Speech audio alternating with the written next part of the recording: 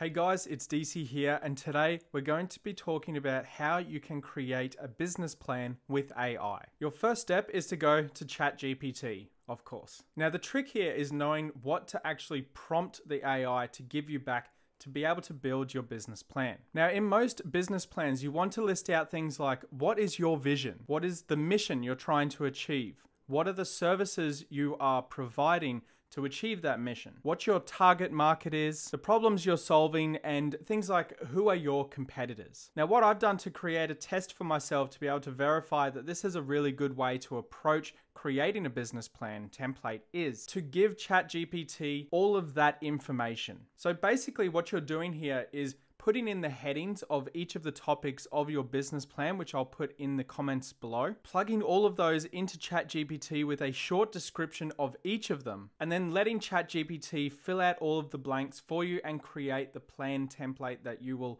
then have a look at to work towards. It's actually a really good system for creating a business plan because normally what I've seen in the past anyway is people who are creating a business plan just go and Google a template. And while that's fine to do, that's a good place to start, it's not really tailored to your exact services. The benefit here of utilizing AI to create a business plan is because you're telling it exactly what your service is and it will tell you exactly how to list those in a business plan. Now, why a business plan is important is because when you are applying for a bank account, sometimes they do ask for a business plan. Sometimes when you are approaching different types of clients, they ask, or especially sort of business partnerships, they might ask you for, you know, what's your business plan? What's your mission? What makes you different from the thousands of other people out there who are doing a very similar job to you. What makes you better than them and why should I employ you? This is where your business plan comes into play. And it's it's just good practice as well. I find for writing these sort of